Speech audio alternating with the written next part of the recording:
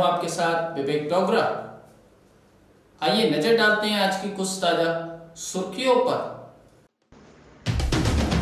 बुलंदशहर में night curfew Covid 19 protocol और आगामी पंचायत चुनाव को लेकर जिला प्रशासन ने कसी कमर।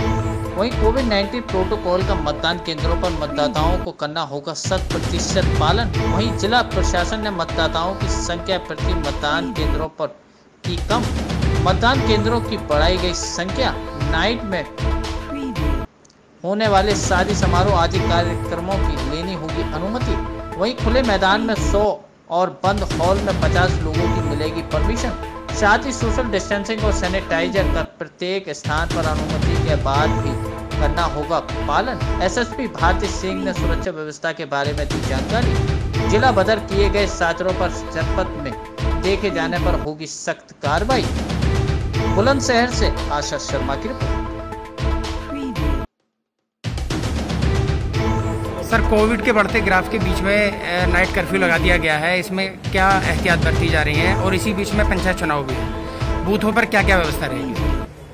देखिए शासन के निर्देशानुसार जिस भी जनपद में एक दिन में सौ से ज़्यादा केसेज या टोटल पाँच सौ से ज़्यादा एक्टिव केस होते हैं वहाँ नाइट कर्फ्यू के माध्यम से संक्रमण को रोकने के लिए विचार करने के बारे में निर्देश दिए गए थे। इसी निर्देश के तहत कल 13 अप्रैल को जनपद बुलंदशहर में 109 नए केस आए और इसलिए नाइट कर्फ्यू लगाया गया है, जिसमें रात्रि 9 बजे से लेकर सुबह 6 बजे तक अनावश्यक कार्यों के लिए आवागमन प्रतिबंधित रहेगा। इसके साथ ही साथ साथ जो आवश्यक एसेंशियल कार्य हैं, उसके लिए अलाउ और इसका उल्लंघन करने वालों के खिलाफ कड़ी कार्रवाई करनी पड़ेगी ताकि उस कार्रवाई के माध्यम से हम आम जनों को कोविड संक्रमण से बचा सकें। सर कोविड के बीच ही पंचायत चुनाव है। बूथों पर इसके एहतियात की क्या व्यवस्था आपने सुनिश्चित कराई है सर? जनपद बुलंदशहर में चौदह सौ नब्बे मतदान केंद्र पे टोटल पैंतीस सौ तिरानवे बूथों पे 29 अप्रैल को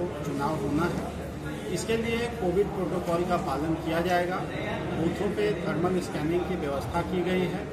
इसके अलावा hand sanitiser, mask, hand washing facility की भी व्यवस्था की गई है और आप लोगों के माध्यम से मैं जनपद के समस्त मतदाताओं से अपील करता हूँ कि वो भी मास्क लगाकर ही वोट डालने आए और सोशल डिस्टेंसिंग एवं अन्य जो प्रोटोकॉल है, उसका पालन सर, पिछले चुनाव में 1400-1500 मतदाता एक बूथ पर जाते थे। क्या इस कोरोना काल के बीच में जब चूँकि ग्राफ बढ़ रहा है तो मतदाताओं की संख्या बूथ में घटाई गई है। क्या स्थिति है सर? जी जी, बिल्कुल घटाई गई है। आप देखेंगे कि अभी जनपद में इसलिए चौदह सौ नब्बे मतदान केंद्र पर पैंतीस सौ तिरानवे बूथ की व्यवस्था की गई है, जिस पर कि टोटल 21 लाख वोटर को वोट देने हैं।